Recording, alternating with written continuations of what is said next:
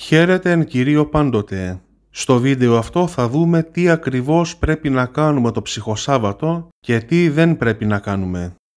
Μέσα στην ιδιαίτερη μέρημνά της για τους κεκοιμημένους, η Αγία Ορθόδοξος Εκκλησία μας έχει καθορίσει ξεχωριστή ημέρα της εβδομάδος για αυτούς, κάθε Σάββατο δηλαδή.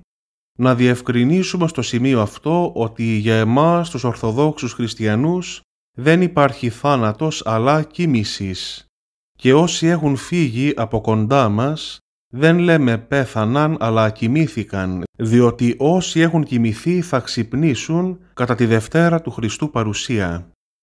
Όπως η Κυριακή είναι η ημέρα της Αναστάσεως του Κυρίου, έτσι λοιπόν και το Σάββατο είναι η ημέρα των κεκοιμημένων, για να τους μνημονεύουμε και να έχουμε επικοινωνία μαζί τους. Σε κάθε προσευχή και ιδιαίτερα όμως στις προσευχές του Σαββάτου, ο πιστός μνημονεύει τους οικείους, συγγενείς και προσφυλείς, αλλά ζητά και τις προσευχές της Εκκλησίας για αυτούς. Στο δίπτυχο, το χαρτάκι δηλαδή που φέρνουμε μαζί με το πρόσφορο για την Θεία Λειτουργία, αναγράφονται τα ονόματα των ζώντων και κεκοιμημένων, τα οποία μνημονεύονται. Η Εκκλησία μας σε αιτήσια βάση έχει καθορίσει δύο Σάββατα τα οποία τα αφιερώνει ειδικά στους κεκοιμημένους της. Είναι τα λεγόμενα ψυχοσάββατα τα οποία είναι δύο. Το πρώτο είναι πριν από την Κυριακή της Απόκρεο και το άλλο πριν από την Κυριακή της Πεντηκοστής. Για το λόγο αυτό με το μνημόσυνο των κεκοιμημένων ζητούμε από τον Κύριο να γίνει ήλαιος και να δείξει την συμπάθεια και την μακροθυμία Του όχι μόνο σε εμάς αλλά και στους προαπελθόντες αδελφούς και όλους μαζί να μας κατατάξει στην επουράνια βασιλεία Του. Τι κάνουμε τα ψυχοσάββατα και τι δεν κάνουμε; Θα πρέπει να εξηγήσουμε ότι πολλά λάθη από την άγνοια του παρελθόντος έχουν φτάσει ως τις μέρες μας και θα πρέπει άμεσα να διορθωθούν. Πρώτον, τα μνημόσυνα θα πρέπει να γίνονται ακριβώς την ημέρα που πρέπει και όχι νωρίτερα ή αργότερα. Λόγου χάριν τα τριήμερα, τα εννιάμερα, τα σαράντα, το ετήσιο μνημόσυνο, το διετές μνημόσυνο, τα δίχρονα, δηλαδή τα τρίχρονα κλπ. κλπ. θα πρέπει να γίνονται ακριβώς την ημέρα που πρέπει. Τα τριήμερα, τρεις ημέρες ακριβώς από την κοίμηση, τα σαράντα, 40 ημέρες ακριβώς από την κοίμηση. Το ετήσιο μνημόσυνο ένα χρόνο ακριβώς μετά την κοίμηση του θανόντος. Δεύτερον, το σπάσιμο γυάλινων αντικειμένων ή άλλων τιούτων, πιάτων κλπ, όπως κακός συνηθίζεται στην επαρχία, ειδικά την ώρα της κηδείας που σπάζουν πιάτα σε κάποιες περιοχές, αυτό είναι η δολολατρική συνήθεια και είναι μεγάλη αμαρτία. Τρίτον, στα μνημόσυνα παραθέτουμε και ευλογούνται μόνο βρασμένα κόλυβα, σιτάρι και τα υπόλοιπα υλικά, το οποίο σιτάρι είναι ενδεικτικό της Αναστάσεως.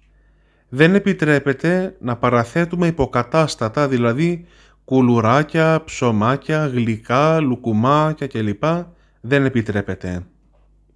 Τέταρτον, το πρώτο Σάββατο της Τεσσαρακοστής δεν είναι ψυχοσάββατο, όπως κακώς πιστεύουν οι περισσότεροι, αλλά είναι η εορτή του διακολύβων θαύματος του Αγίου Θεοδόρου του Τύρονος.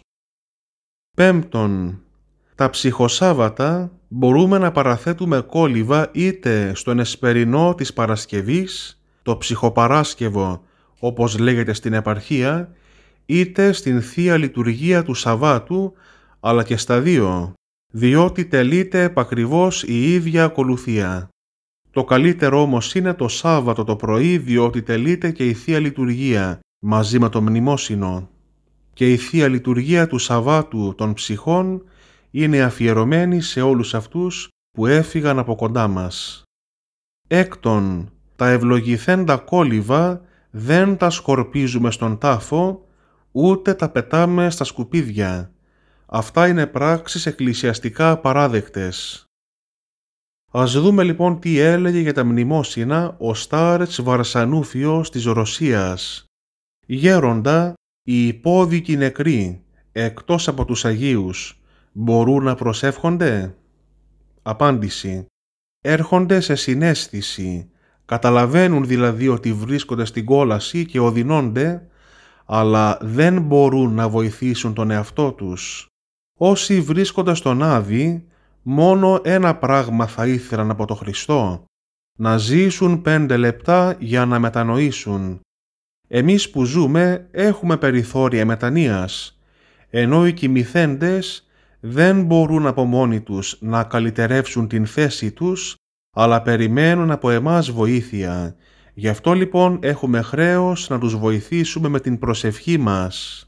Οι άλλοι όμως οι υπόδικοι που έχουν λίγο φιλότιμο αισθάνονται την ενοχή τους, μετανοούν και υποφέρουν για τις αμαρτίες τους, ζητούν να βοηθηθούν και βοηθώνται θετικά με τις προσευχές των πιστών.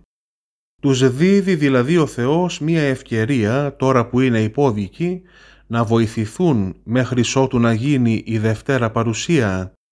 Και όπως σε αυτή τη ζωή, αν κάποιος είναι φίλος με τον βασιλιά, μπορεί να μεσολαβήσει και να βοηθήσει έναν υπόδικο, έτσι και αν είναι κανείς φίλος με τον Θεό, μπορεί να μεσολαβήσει στο Θεό με την προσευχή του και να μεταφέρει τους υπόδικους από την μία φυλακή σε άλλη φυλακή καλύτερη, από το ένα κρατητήριο σε ένα άλλο καλύτερο ή μπορεί ακόμη να τους μεταφέρει και σε δωμάτιο ή σε διαμέρισμα. Όπως ανακουφίζουμε τους φυλακισμένους με αναψυκτικά και λοιπά που τους πηγαίνουμε, έτσι ακριβώς και τους κοιμηθέντες τους ανακουφίζουμε με τις προσευχές και τις ελεημοσύνες που κάνουμε για την ψυχή τους. Οι προσευχές των ζώντων για τους κεκοιμημένους και τα μνημόσυνα είναι η τελευταία ευκαιρία που δίνει ο Θεός στους κεκοιμημένους να βοηθηθούν μέχρι να γίνει η τελική κρίση. Μετά την δίκη δεν θα υπάρχει δυνατότητα να βοηθηθούν. Γι' αυτό και η Εκκλησία μας έχει τα κόλληβα και τα μνημόσυνα. Τα μνημόσυνα είναι ο καλύτερος δικηγόρος για τις ψυχές των κεκοιμημένων. Έχουν την δυνατότητα και από την κόλαση να βγάλουν την ψυχή ειδικά τα σαρανταλίτουργα, και εσείς σε κάθε λειτουργία να διαβάζετε κόλληβα για τους κεκοιμημένους. Έχει νόημα το σιτάρι. Σπήρεται εν φθορά, εγείρεται εν αυθαρσία, δηλαδή συμβολίζει τον θάνατο και την Ανάσταση του ανθρώπου, όπως λέγει και η Αγία Γραφή.